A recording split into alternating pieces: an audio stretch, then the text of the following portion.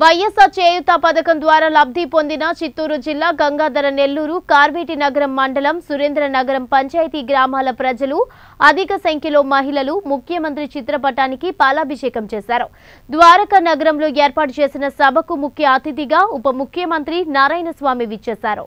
కార్వేటి నగరం మండల స్థాయిలో వైఎస్ఆర్ చేయూత పథకం ద్వారా లబ్ధి పొందిన వితంతు మహిళలు ఒంటరి మహిళలు మొత్తం నాలుగు వందల యాభై ఒక్క మంది సురేంద్ర నగరం పంచాయతీ పదహారు మంది లబ్ధి పొంది ఉన్న కారణంగా మహిళలు ముఖ్యమంత్రి జగన్మోహన్ రెడ్డి చిత్రపటానికి పాలాభిషేకం చేశారు. మహిళలు మాట్లాడుతూ జగన్మోహన్ రెడ్డి నాయకత్వంలో మాకు కష్టపడే అవసరం లేకుండా ఎన్నో రకాల పథకాలు పెడుతూ లబ్ధి పొందుతున్నామని చౌక దుకాణం వల్ల ఇంట్లో ధాన్యం నిల్వ ఉంటుందని జగన్మోహన్ రెడ్డి మాకు ఎప్పటికీ సీఎంగా ఉండాలని గ్రామ ప్రజలు కొనియాడారు. ఉప ముఖ్యమంత్రి నారాయణ స్వామి మాట్లాడుతూ ప్రజల కోసమే తమ ప్రభుత్వం ఉందని ఎల్లవేళలా మీ అండదండలు మాకు ఉంటే ప్రజల కోసం మరెన్నో మంచి పథకాలు కార్యక్రమాలు చేయగలమని అన్నారు.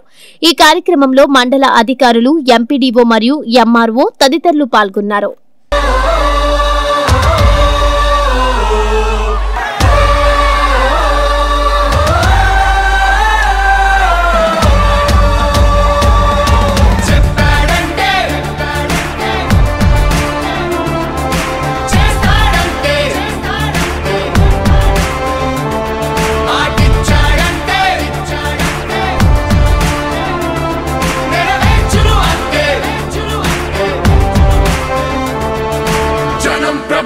ప్రభుత్వం. ప్రభుత్వం ప్రభుత్వం జగనన్న ప్రభుత్వం.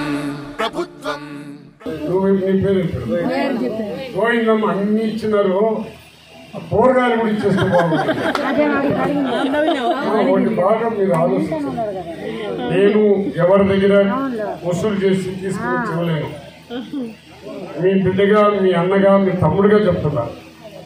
నాకు వచ్చే జీతంతోనే నేను బతుకుతున్నాను. నేను గొప్పగా చెప్పుకునేది కదా.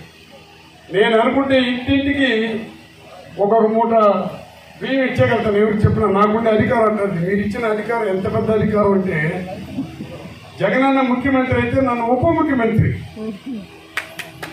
నేను కలెక్టర్ కానీ ఎస్పీ కానీ ఎవరిని కూడా రమ్మంటే వచ్చేవస్తుంది కానీ నేను వాళ్ళందరికీ కూడా దండం పెట్టుకొని ప్రజలకు సేవ చేయాలి. మనం పదవి కోసం అహంకార పడకూడదు పేదవాళ్ళకి కోసం పనిచేయాలి పేదవాళ్ళు పనిచేయాలంటే మనం నీతిగా నిజాయితీ ఉండాలని ఉద్దేశించుకొని తన ఇంటిని ఆర్థికంగా ఏ విధంగా పైకి తీసుకొని రావాలి తన ఇంటిని ఏ విధంగా విద్యావంతులు చేయాలి తన ఇంటిలో ఏ విధంగా భూములు కొనుక్కోవాలి తన ఇంటిని ఎంత అభివృద్ధి చేయాలి అని ప్రతి ఇంట్లో యజమాని ఏ విధంగా కలలు కంటాడో మీకు ఏ విధంగా మీ యొక్క యజమాని బాధపడతాడో ఆ కోపకు చెందినటువంటి యుగ పురుషుడు రాజశేఖర రెడ్డి గారు కుమారుడైన జగన్మోహన్ రెడ్డి గారు మీకందరికీ తమ్ముడుగా అన్నగా తల్లులకి కొడుగ్గా కొడుకుగా బిడ్డలకి మేనమామగా పనిచేస్తున్నటువంటి జగన్మోహన్ రెడ్డిని మీరందరూ కూడా ఎందుకంటే ఆయన మాట ఎత్తే దేవుడు ఉండడు ప్రజలు ఉన్నాడని చెప్పి కార్యక్రమం చేసి వ్యక్తి ఈ ఇండియాలో కాదు దేశంలోనే ఎక్కడ లేదు. వారిని మీరందరూ ఆశీర్వదించాల్సిందిగా మనం ప్రార్థిస్తున్నాను